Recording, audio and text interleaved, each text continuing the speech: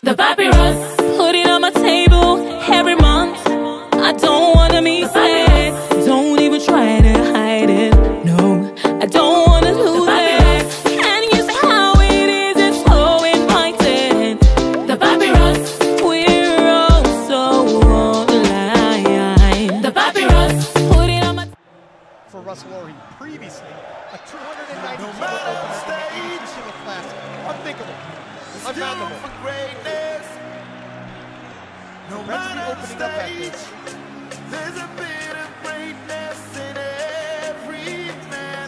There's power to rise. There's power to conquer. There's power inside. American-born Benue Nigerian powerlifter Russel Tiza Orhii became the world champion after lifting a 83 kg weight at the 2019 World Powerlifting Championship in Sweden. The 25-year-old champion who competed for the coveted prize for three years was a silver medalist in 2018 and a two-time American champion.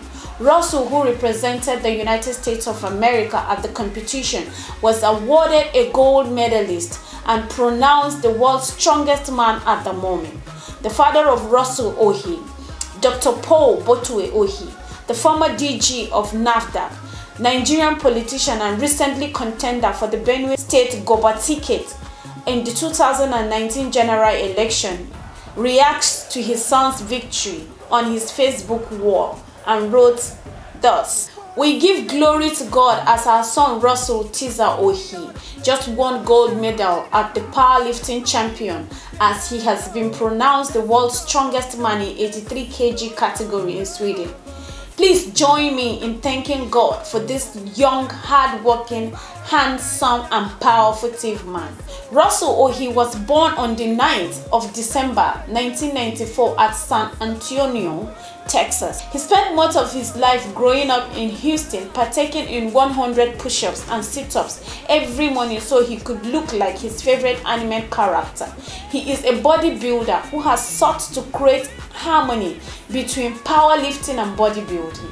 His first bodybuilding show was in July 2006. He has over 220,000 followers on his Russwole Instagram account. He plays football for the Texas Tech University. He is measuring height about 5.6 and he associates with Constantivio, who is also known for his powerlifting techniques.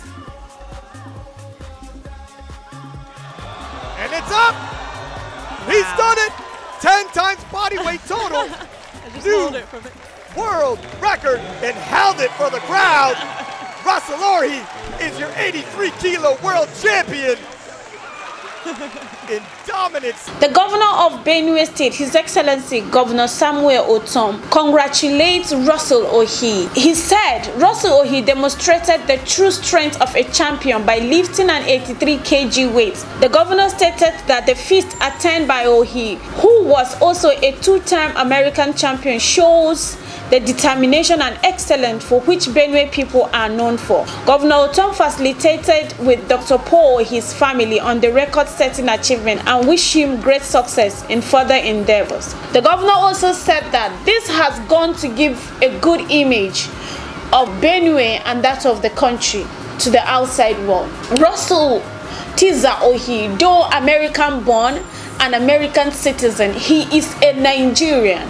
And Nigerian at this time should be proud of a child like this. We have often heard of Nigerian peddling drugs and so many other crime vices and everything, but you can see that Nigeria sure does have good product as it can be seen in Tiza Orhii. We just hope that President Muhammadu Buhari, it has been extended to other champions in the country. We extend a very good gesture, word of recommendation to this young chap. Congratulations, Russel Tiza Orhii, from all of us at the Papyrus TV Africa.